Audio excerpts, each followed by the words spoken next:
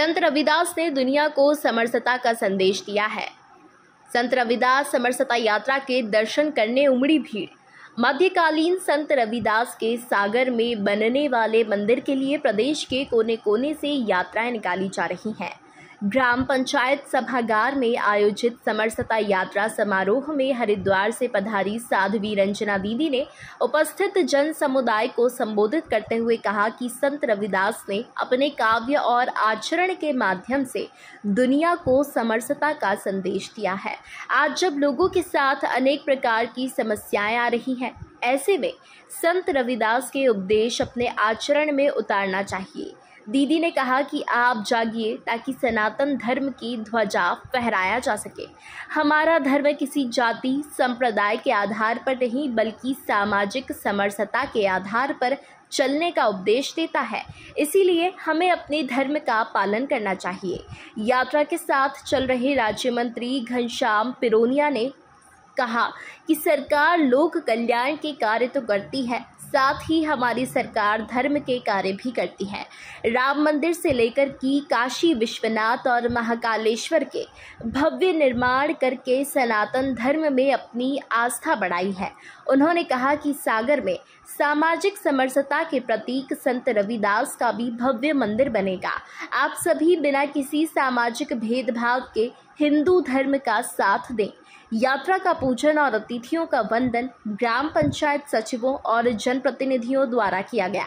साथ ही ग्राम की मिट्टी और जल भी भेंट किया गया।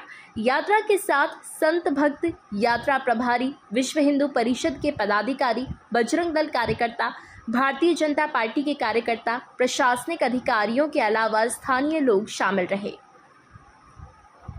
समरसता यात्रा का समापन 12 अगस्त को सागर में होगा, जहाँ पर संत रविदास के भव्य मंदिर की आधारशिला रखी जाएगी।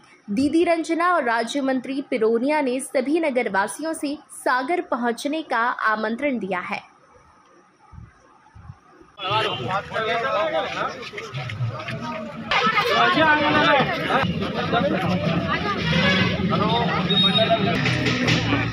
अब ये साड़ी हम कैसे पहनाएँगे आपको? ये यात्रा भी है ऐसी पाँच यात्राएँ पूरे प्रदेश में चल रही हैं। और ये मुरैना भिंड दतिया ग्वालियर होते हुए आज शिवपुरी ज़िले में आई है। और इसका कल गुना और अशोकनगर से सागर पहुंचेगी 12 तारीख को। और इसका भूमि पूजन प्रधानमंत्री माननीय नरेंद्र मोदी जी 12 तारीख को करेंगे। भारतीय जनता पार्टी की सरकार मध्य प्रदेश की शिवराज करोड़ दो करोड़ दस करोड़ बीस करोड़ का नहीं पूरे सौ करोड़ रुपए की लागत से बनवा रही है।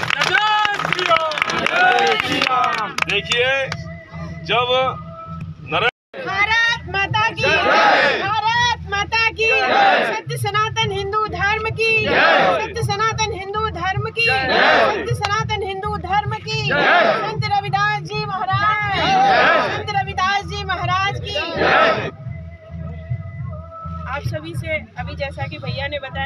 भैया ने यात्रा के प्रभारी और निरंतर इस यात्रा को प्रतिदिन नई गतियाँ देने वाले हमारे भैया। जैसा कि बताया कि हमारे यहाँ रविदास जी महाराज का मंदिर बन रहा है। किसका मंदिर बन रहा है? रविदास जी महाराज। कहाँ बन रहा है? सागर में। सब लोगों को पता है? कौन बनवा रहा है? कौन है वो आपके? मंत्री जी और कौन है भारतीय जनता पार्टी के नेता। मामा क्या है हार्डली आपके मामा आपके भैया। और बहनों कर दो जयकारा तो माता की। माता की। सत्य सनातन हिंदू धर्म की। सत्य सनातन हिंदू धर्म की। संत रविदास जी महाराज की। संत रविदास जी महाराज की। हम सब आपको निमंत्रण देने आए हैं। और काय का निमंत्रण? बोलो। काय का निमंत्रण? मंदिर का निमंत्रण? बोलो ना काय का निमंत्रण? और किसके मंदिर निर्माण का निमंत्रण?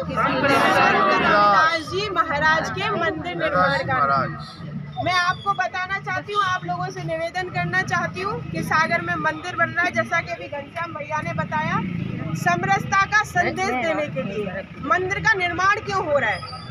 इसलिए समरसता समरसता का अर्थ होता है एक ही धागे में भिन्न भिन्न प्रकार के मोतियों की माला बना के। वो माला गले में सुशोभित होती है तो हमारा भी गौरव बढ़ता है और परमात्मा के यहाँ हमारी अर्जी लग जाती है। तो यानी समरसता का, अखंडता का, एकता का संदेश देने के लिए संत रविदास जी का मंदिर निर्माण करवा रही है हमारी प्रदेश सरकार और हमारे देश की सरकार। कौन बनवा रहा है मंदिर? कौन? प्रदेश में कौन है? कौन है सुभाष? भैया। और भाइयों के कौन है? हाँ, और बच्चों के कौन है? कौन है बच्चों के? तो आपके मामा ने निमंत्रण भेजा है। वही निमंत्रण हम आपको देने आए आप सभी आए। एकता का जो कार्य अखंडता का जो कार्य हो रहा है समरसता का जो आप लोगों के बीच में संदेश जा रहा है। देखो भाइयों मैं इतनी बात कहूँगी आपसे कि हमें बटना नहीं है। जातियों के नाम पे नहीं बटना। हमें संप्रदायों के नाम पे नहीं बटना। हमें एकता का संदेश देना है।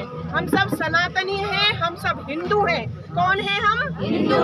कौन है हम? हिंदू। ज़ोर से बोलो सनातनी है। कौन है हम कौन है हम इसलिए हम बटने की बात करेंगे ही नहीं। हमारी एक जाति है, हम भगवान के बंदे हैं, पृथ्वी माँ हमारी माता है और ईश्वर हम सबका पिता है जिसने हमें पैदा किया है। इसलिए बटेंगे नहीं, जातियों के नाम पे, संप्रदायों के नाम पे एकजुट रहेंगे। हमारा एक नारा होगा। कौन सा नारा? जात हमारी प्रेम है। धर्म हमारा प्रेम। जो हमारे भगवान से प्रेम करता है, वो हमारी जाति का है। और मैं निवेदन करूँगी आप लोगों से, न जाति की बात करेंगे। बोलो मेरे साथ। संकल्प लो। न जाति की बात करेंगे। न संप्रदाय